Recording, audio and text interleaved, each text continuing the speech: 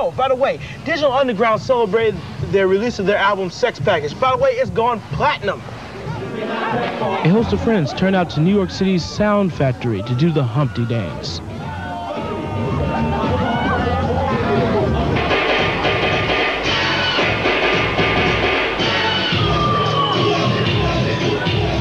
People are always wondering what's up with the underground.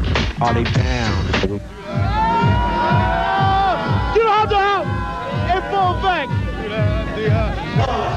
What is the Digital Underground sound? Let's find out.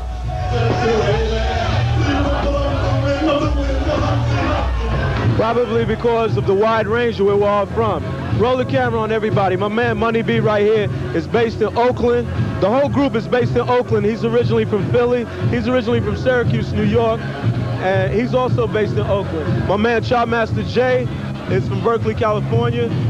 I was raised between Far Rock and Tampa Bay, Florida, and my man Humpty Hump is from Tampa. We also got Schmoovy Schmoove, who's from Alabama. He does all the singing.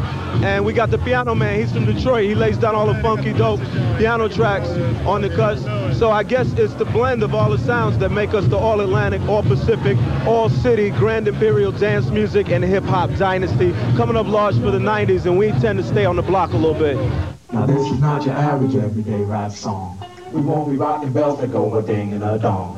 The bass drum or hip won't be lingering on. Check out the way we kick it on the mic. They hitting, man. It's the best underground that's happening. Um, but I'm still wondering, do they have these male sex packets? You know, where the male, you know what I'm talking about, for women. I haven't seen it yet. Well, sex packets a dollar or two. Digital underground.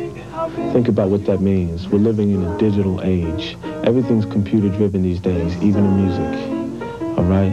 And think of the underground in terms of you'll never know who we really are. Yourself to a cracker with a spread of cheddar cheese, have a neck bone. You don't have to say please, eat what you like. Yo, for hip hop news, I'm Prime. Peace, and we'll see ya.